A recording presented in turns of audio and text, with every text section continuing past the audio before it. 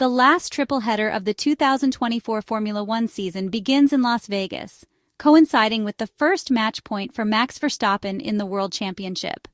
With the driver's title almost decided, all eyes will be on the battle for the Constructors' Championship, with McLaren and Ferrari as the major protagonists and Red Bull still mathematically in the race.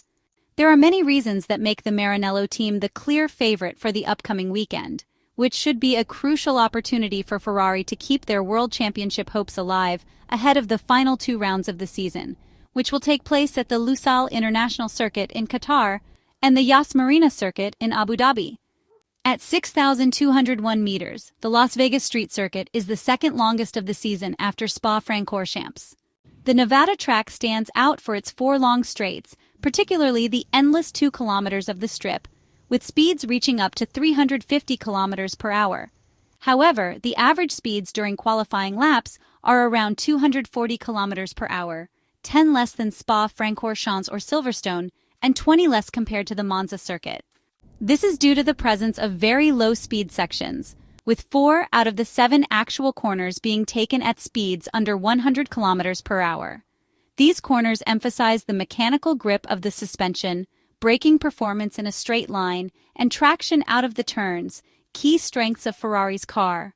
On the other hand, the lack of long, high-speed sections in favor of short 90-degree corners hides the stability issues of the Maranello car, the Ferrari is also the best car when it comes to absorbing curbs, bumps, and dips in low-speed sections, qualities that, along with the ones already mentioned, had already made the SF24 the most competitive car at the Baku City Circuit, a track that most closely resembles Las Vegas.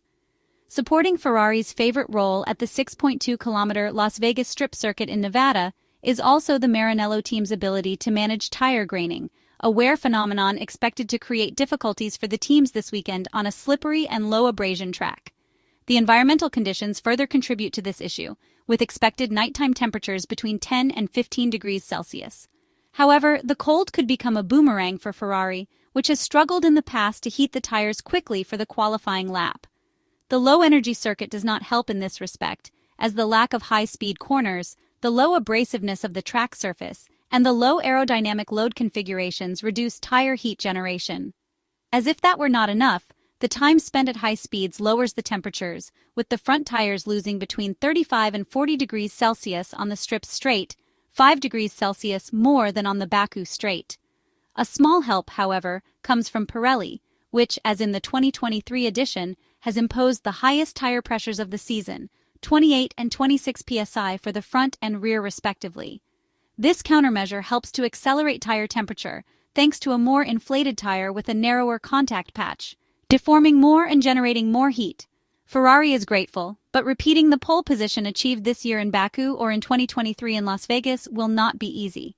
In Las Vegas, the long time spent at over 300 kilometers per hour requires a reduction in drag, while the low-speed corners that rely on mechanical grip reduce the importance of aerodynamic downforce. In Nevada, teams tend to use low downforce configurations, even more extreme than those used in Azerbaijan and much closer to the ones used in Italy at the Monza circuit.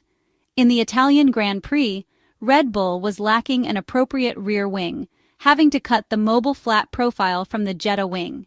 The world champions suffered a certain disadvantage compared to teams like Ferrari, which had a specific Monza wing and could bring it back to Las Vegas. There is also great curiosity about which rear wing McLaren will choose to use this weekend in Nevada.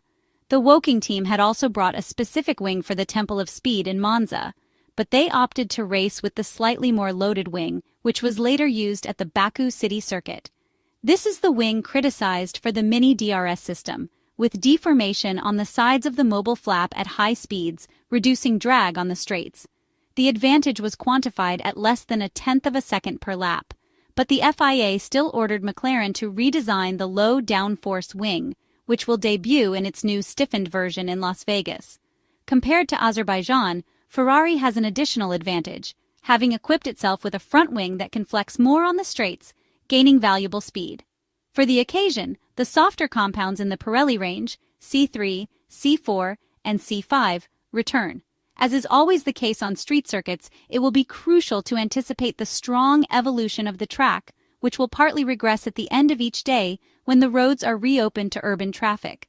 With the barriers at the edge of the track, it becomes crucial for the drivers to make the most of every single minute of the free practice session in order to gain confidence and security, ideally without pushing too hard and risking an accident that would force them to spend a lot of time in the pits.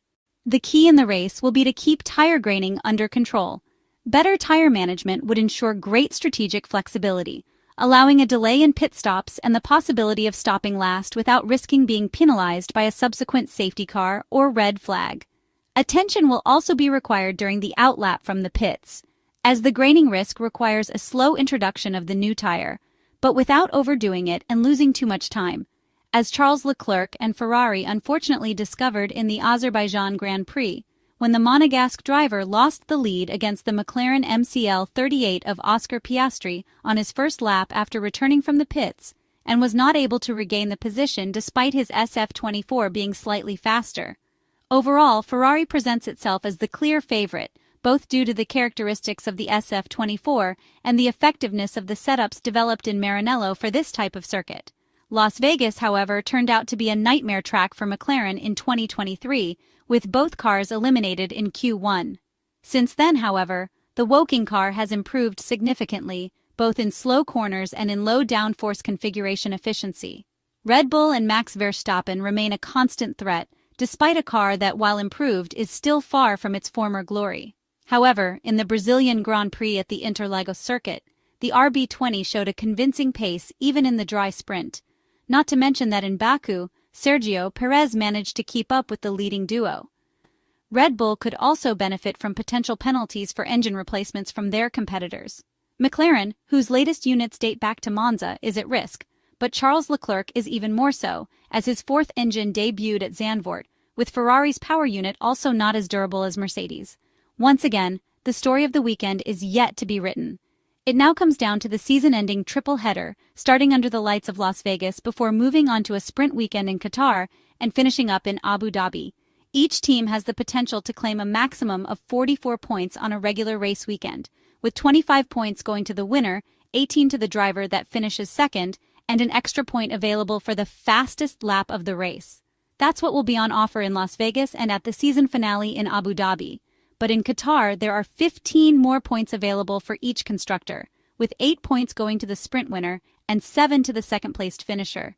It's worth remembering that even if a team was able to pull off the impressive feat of claiming a 1 2 or a double 1 2 at a sprint weekend, their lead is unlikely to grow by the full haul, given there is every chance the others will also be scoring points. Ferrari last won the Constructors' title in 2008, while McLaren's last triumph was in 1998. McLaren did finish top of the 2007 standings, but were disqualified following the Spygate case. These are two of the sport's most famous teams, both desperate to end the domination of Red Bull and Mercedes since Ferrari's last title.